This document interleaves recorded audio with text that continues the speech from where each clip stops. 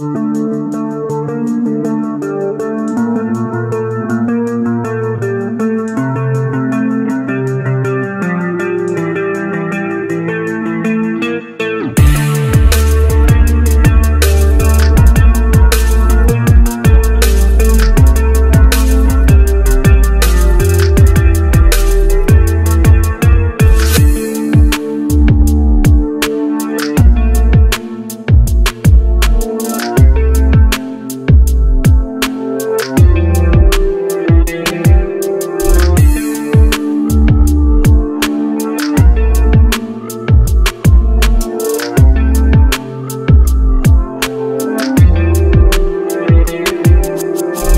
Ah, magandang araw po sa inyong lahat. Ah, sana matapos yung panoorin itong vlog kong ito ay makapag-subscribe kayo no, sa aking YouTube channel at sana na isi-share nyo to no, ah, sa inyong mga kaibigan, sa inyong mga kamahan at sa inyong mga kapwa guro. At sana pag nag-subscribe kayo, ah, pakihit na rin yung notification bell para every time na nagkakaroon ako ng bagong vlog ay madali po kayong uh, mananotify. Ano? At sana yung lagi kong request kasi yung mga ads ko ay ay yung mga ads ko, yung vlog ko ay merong mga ads, may mga lumalabas ng mga ads. Sana pag lumalabas yung mga ads, ang gagawin nyo ay papanoorin nyo ng buong buo.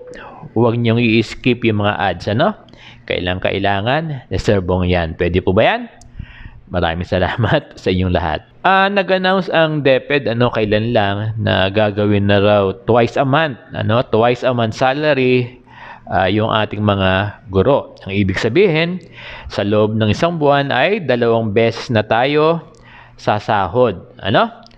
Uh, alam ko matagal nang iginigiit ito, no? matagal nang proposal ito ng mga Teachers Association na gawing kinsenas, katapusan, yung sahod ng ating mga guro. At kung ito ay matutuloy, ano, kung mangyayari ito, magiging paborito lahat sa atin dahil mas magiging maayos yung ating mga gastusin sa araw-araw. Kasi pag minsan lang sa isang buwan, yung ating payroll, nasisira yung ating pagbabudget araw-araw. Kaya ang nangyayari, uh, palagian tayong naghahanap ng pera na panggastos para uh, masustain yung uh, pang-araw-araw na gastusin natin.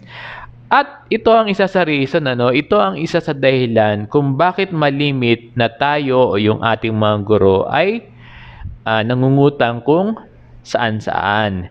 Kaya itong plano ng DepEd ano, na gawing dalawang beses ang pagsahod ng guro, talagang nakakatuwa ito.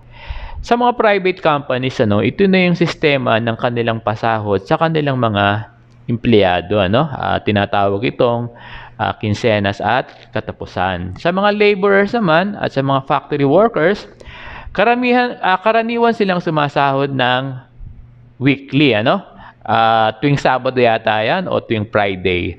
Uh, sa atin naman ng mga kawani naman ng gobyerno sa mga government employees, sanay na tayo, ano, sanay na tayo sa minsan lang isang buwan yung ating uh, pagsahod.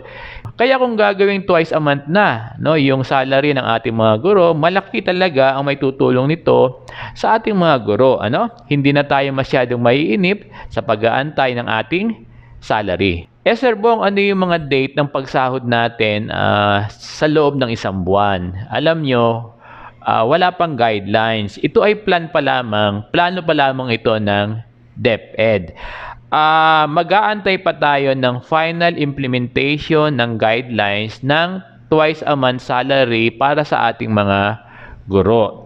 Uh, dahil ito ay inannounce na recently ano, ng DepEd. Uh, kailan lang to inannounce eh, ni ASEC Ansibilia. Uh, malamang ito ay on the process na yung guidelines So kung dalawang beses na tayo sasahod, ano, kung dalawang beses na tayo sasahod sa isang buwan, ang ibig sabihin niyan, dalawang beses na rin tayo magwi-withdraw sa mga ATM machines. Masaya ba? So itatanong nyo, no, eh Sir Bong, kung twice a month salary tayo, paano na po yung payslip? Alam nyo kasi yung payslip, uh, ginagamit natin, ano, ginagamit ng ating mga guro pag naglo-loan tayo sa mga private institution o mga private lending companies. So, Sir Bong, magiging dalawa ba yung payslip? Kung dalawang beses tayo sasahod sa isang buwan, ang ibig bang sabihin nito, uh, dalawang, magkakaroon tayo ng dalawang payslip? Uh, palagay ko hindi naman.